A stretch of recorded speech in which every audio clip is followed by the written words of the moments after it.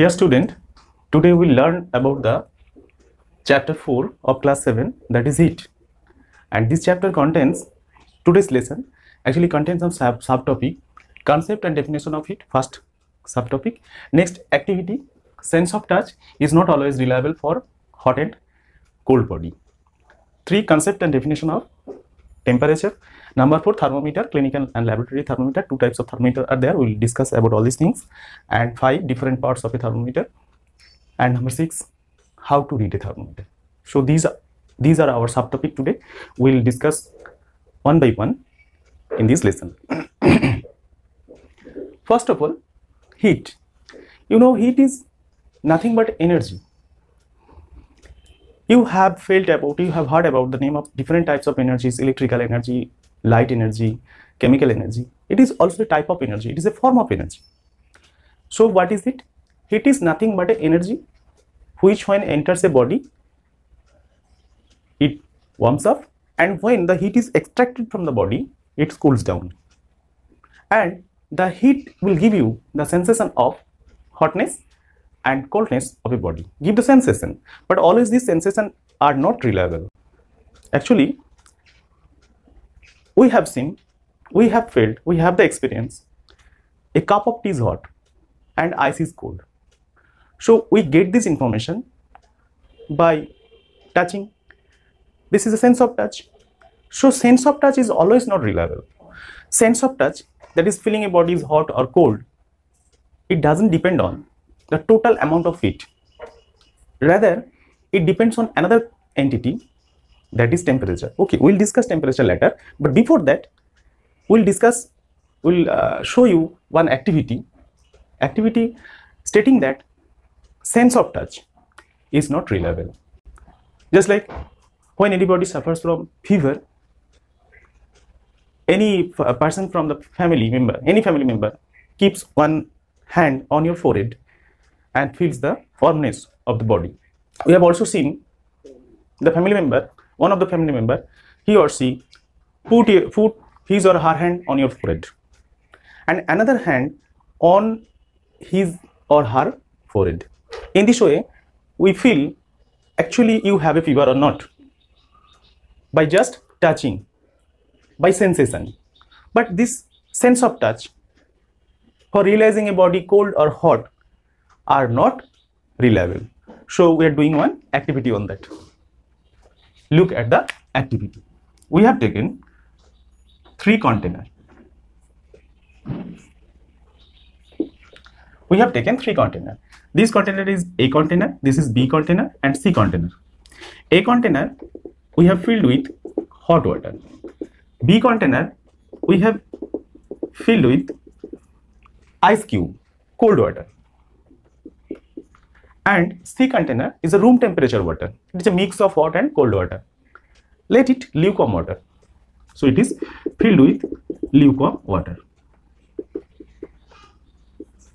Okay. Now we have put our left hand on the hot water and at the same time we have I have put this right hand on the cold water and pick these two hands from these two container and put these two hands in the third container that is the lukewarm water then what what will be the feelings you see this left hand which was in the hot water now you feel this container c is cold.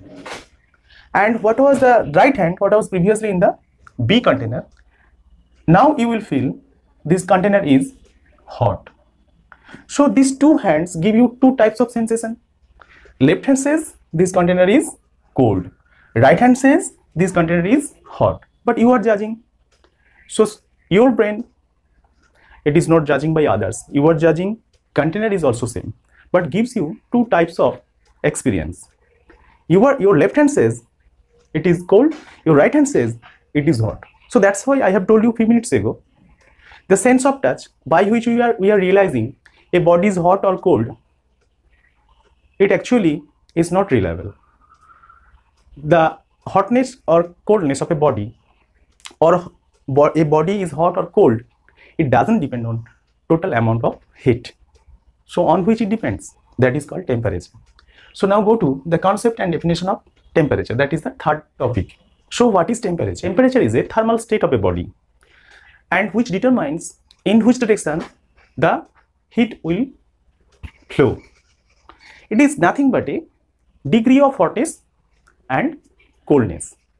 So actually if you want to realize which body is really hot or cold, we get the right idea by just measuring temperature. So temperature can be measured by thermometer.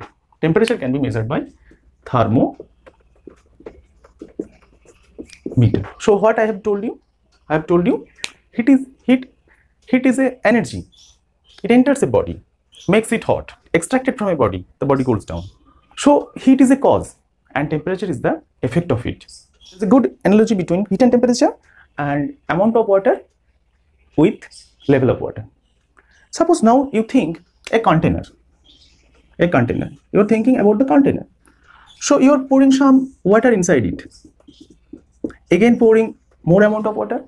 Then the level of water, level of water increases. So more and more water will be poured in this container. The level of water will be increased. So if we just make an analogy with the amount of water with heat and level of water with temperature it will be good analogy in between them so if you give suppose there is a body this is a body you are giving heat you are giving heat that means you are pouring some water inside the container it is as a pour some water in the container then its level of water is increasing so when heat is given to the body its temperature increased temperature increased so it is an analogy now, you have also seen water is flowing from higher level to lower level. Always higher level to lower level. Level, level of water can be analogized with temperature. Here also, heat can flow from high temperature to lower temperature. So keep in mind, I, ha I have given you the example and it will help you to remember what is heat and what is temperature. There is a difference in between heat and temperature. Heat is cause, temperature is effect. Heat is measured by calorimeter. And I will show you one figure that is calorimeter. And temperature is measured by thermometer. So unit of SI unit of heat is joule, SI unit of temperature is Kelvin. Now go to the fourth topic that is the thermometer. Thermometer are of two types. One is clinical thermometer and second is lab thermometer. Clinical thermometer also by function, it is two types. One is this is the analog thermometer. It contains mercury and it is known as the digital thermometer. It is the digital thermometer. It is analog thermometer. So these two types of thermometer are under category of clinical thermometer. And these two types of thermometer uses two types of scales, centigrade scale and Fahrenheit scale. So clinical thermometer which contains clinical thermometer in a centigrade scale runs from 35 degree centigrade to 35 degree centigrade scale centi centigrade scale runs from 35 degree to 42 degree centigrade and here 37 degree centigrade is the normal human temperature and for Fahrenheit scale it runs from 94 degree Fahrenheit to 110 degree Fahrenheit and normal temperature of human is 98.6 degree Fahrenheit. And laboratory thermometer is a longer thermometer. It runs from laboratory thermometer, lab thermometer, thermometer. It is minus 10 degree cent centigrade to 110 degree centigrade. So this is the range. Now I'll show you the fifth topic that is different parts of thermometer. Thermometer contains one bulb, kink, hair thin cylindrical tube inside the glass container. Now you see, now this is the bulb, this portion is known as the bulb, this is the bulb. And there is a kink. Kink means there is a bent portion inside it, it is hard to see. This portion you can see is a bent portion inside the hair like thin cylindrical tube. This portion is a kink. And kink will prevent the sudden fall down of the mercury what was raised inside the cylindrical tube. And this is only used in clinical thermometer. But kink is not used inside a lab thermometer. Because lab thermometer is used to take the real-time data. Now how to read a thermometer? You see this is 94 you can see it is actually in the fahrenheit scale. It runs from 94 to 110 and 94 to then 94 then it is written 6 actually it is 96 and be, uh, in uh, in between 94 and 96 there is a longer bar. This longer bar indicates that is this is 95 so inside 94 in between 94 and 95 there is 1 2 3 4 5 smaller bars. So actually what is the smallest division? What is the least count of this thermometer? If, if we want to read a thermometer then thermometer least counts we have to find out. Then what is the least count?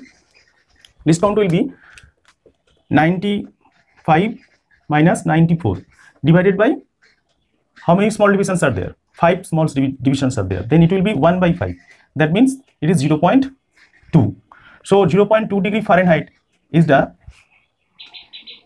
smallest is the least count of the thermometer. Here there is a, a beside the 98 what is it that is 98 you can see there is the arrow.